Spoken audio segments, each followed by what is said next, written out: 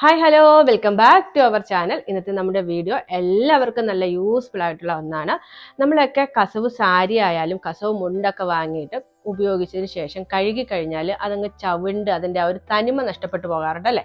പക്ഷേ എങ്കിൽ നമ്മൾ ഈ കഴുകുന്ന സമയത്ത് ഈ ഒരു സീക്രട്ട് ഇൻഗ്രീഡിയന്റ് കൂടി ചേർത്തിട്ട് കഴുകുകയാണെങ്കിൽ എത്ര കാലം കഴിഞ്ഞാൽ ആ ഒരു പുതുമ നഷ്ടപ്പെടാണ്ട് തന്നെ നമുക്ക് ഉപയോഗിക്കാനായിട്ട് കഴിയും.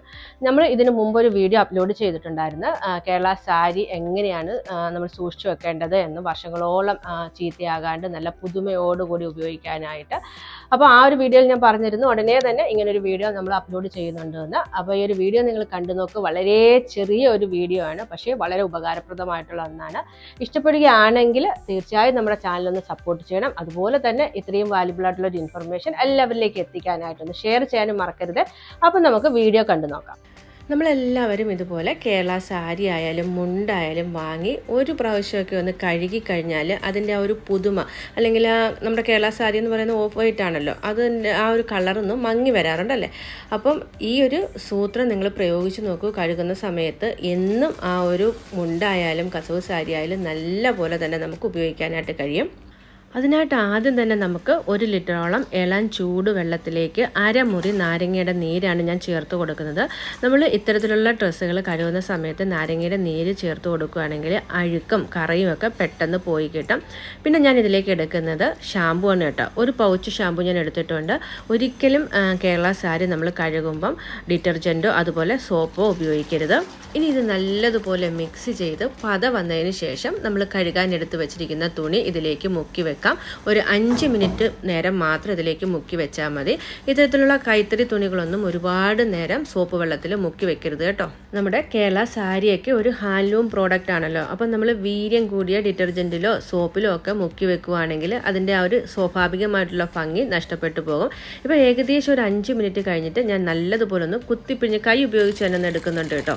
അതിനുശേഷം ആ ഒരു ഷാമ്പുവിന്റെ പതയൊക്കെ പോകാനായിട്ട് രണ്ട് മൂന്ന് വെള്ളത്തിൽ നല്ലതുപോലെ കഴുകിയെടുക്കുന്നുണ്ട്. ഒരിക്കലും പിഴിഞ്ഞെടുക്കരുത് കേട്ടോ. ജസ്റ്റ് നമ്മൾ ആ ഒരു വെള്ളം ഒന്ന് മാറ്റിയെടുക്കുക മാത്രമേ ചെയ്യാവൂ. കഴുകിയെടുത്തതിന് ശേഷമാണ് കേട്ടോ നമ്മൾ ആ സീക്രട്ട് ഇൻഗ്രീഡിയന്റ് ചേർക്കുന്നത്. അതിനായിട്ട് രണ്ട് ലിറ്ററോളം വെള്ളത്തിൽ ഒരു കാൽ ഗ്ലാസ് കട്ടൻ ചായയാണ് നമ്മൾ ചേർത്ത് കൊടുക്കുന്നത്. പ്രത്യേകം ശ്രദ്ധിക്കണം. ഇതിലേക്ക് പഞ്ചസാര ഇടാനായിട്ട് പാടില്ല. അതുപോലെ തന്നെ വളരെ കുറച്ച് തേയില മാത്രമേ ഉപയോഗിക്കാവൂ. ലൈറ്റ് ആയിട്ടുള്ള കട്ടൻ ചായയാണ് കേട്ടോ നമ്മൾ എടുക്കേണ്ടത്.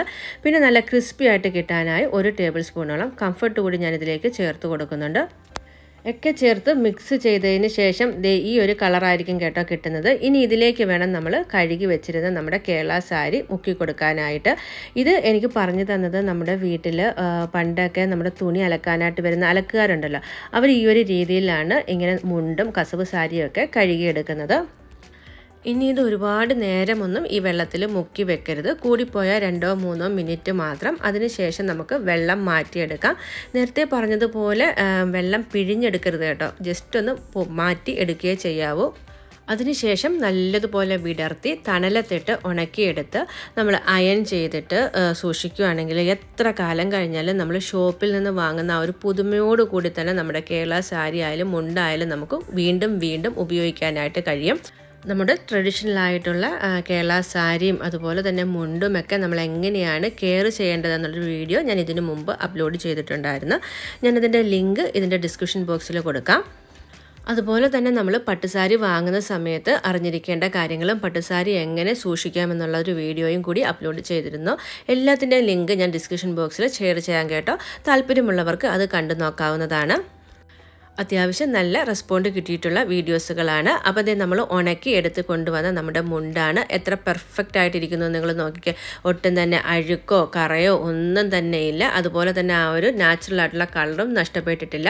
അപ്പോൾ ഈ ഒരു വീഡിയോ നിങ്ങൾക്ക് തീർച്ചയായിട്ടും യൂസ്ഫുൾ ആയിട്ടുണ്ടല്ലോ. ഒരു പ്രാവശ്യമെങ്കിലും നിങ്ങൾ ഈ ഒരു രീതിയിൽ കഴുകി ഉണക്കി നോക്കൂ. അതിനുശേഷം നിങ്ങൾക്ക് ഇഷ്ടപ്പെട്ടിട്ടുണ്ടെങ്കിൽ നമ്മുടെ ചാനലൊന്ന് സപ്പോർട്ട് ചെയ്യാനായിട്ട് മറക്കരുത്. ഒപ്പം തന്നെ ഫ്രണ്ട്സിനും ഫാമിലിക്കും ഒക്കെ ഈ ഒരു വീഡിയോ ഷെയർ ചെയ്ത് കൊടുക്കണം. കൂടാതെ ആദ്യമായിട്ടാണ് നമ്മുടെ ചാനൽ കാണുന്നതെങ്കിൽ ഒന്ന് സബ്സ്ക്രൈബ് ചെയ്യാനും സബ്സ്ക്രൈബ് ചെയ്യുന്ന ടൈമിൽ ആ ബെല്ലൈക്കനൊന്ന് എനേബിൾ ചെയ്യാനും മറക്കില്ലല്ലോ. വീണ്ടും നമുക്ക് നല്ല യൂസ്ഫുൾ ആയിട്ടുള്ള ഒരു വീഡിയോയിൽ കാണാം. അതുവരേക്കും ടേക്ക് കെയർ ബൈ ബൈ